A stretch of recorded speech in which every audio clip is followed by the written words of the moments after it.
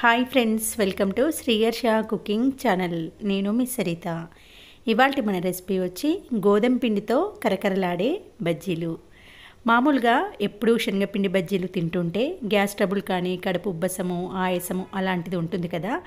అలాంటి వారి కోసం ఇలా ఈనో కానీ సోడా కానీ పెరుగు కానీ ఏమీ వేయకుండానే పైన క్రిస్పీగా లోపల గుల్లగా అస్సలు ఆయిల్ పట్టకుండా ఎంతో టేస్టీగా గోధుమ పిండి బజ్జీలను కూడా చేసుకోవచ్చు.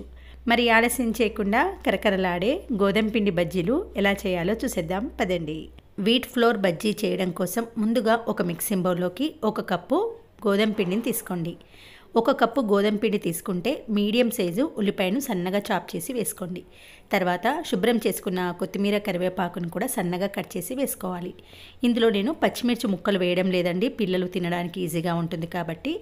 తర్వాత ఒక టీ స్పూన్ జీలకర్ర రుచికి సరిపడా ఉప్పు కారం వేసుకోండి. కారం పొడి కూడా నేను లైట్గా వేస్తున్నాను. ఒక టీ స్పూన్ కారం పొడి అర టీ స్పూన్ సాల్ట్ మాత్రం వేశాను. ఇందులో సోడా ఈనో పెరుగు ఏమీ వేయాల్సిన అవసరం లేదు. జస్ట్ ఇలాగే కలపండి. చక్కగా పొంగుతూ పైన క్రిస్పీగా లోపల గుల్లగా వస్తాయి. తర్వాత కొన్ని కొన్ని వాటర్ని యాడ్ చేస్తూ ఈ కన్సిస్టెన్సీలో పిండిని ప్రిపేర్ చేయండి.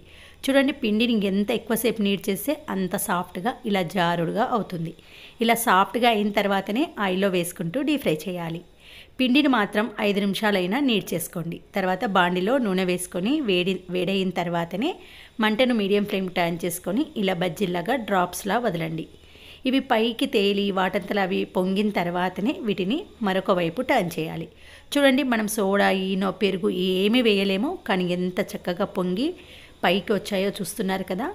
ఇలా మీడియం ఫ్లేమ్లో మంచి కలర్లోకి మారిన తర్వాత ఆయిల్లోంచి తీసేసేయండి. అంతేనండి. గోధుమ పిండి బజ్జీలు రెడీ అయిపోయాయి. వేడివేడిగా ఉన్నప్పుడే సర్వ్ చేసుకొని టేస్ట్ చేస్తేనే పైన క్రిస్పీగా లోపల గుల్లగా ఉంటాయి. మీరు కొంచెం ఆలస్యం చేసిన చల్లారిన ఇవి మాత్రం మెత్తగా అయిపోతాయి.